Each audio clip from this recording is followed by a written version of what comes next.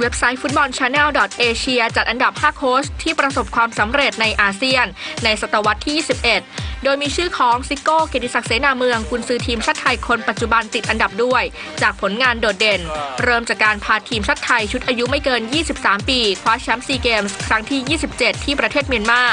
ต่อด้วยอันดับที่ 4 ในศึกเอเชียนเกมส์ 2014 ที่ประเทศเกาหลีใต้ และการคว้าแชมป์ซูซูกิคัพ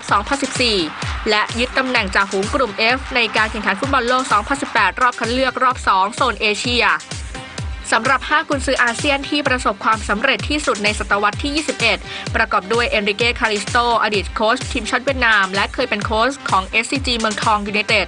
ดาโต๊ะกฤษณะซามีราชาโกปาล อดีต head coach ของทีมชาติมาเลเซีย เกียรติศักดิ์เสนาเมืองโค้ชทีมชาติไทย ปีเตอร์วิธอดีตโค้ชทีมชาติไทย และอดีตโค้ชทีมชาติอินโดนีเซีย และราดอยโกอัฟราโมวิชโค้ชทีมชาติเมียนมา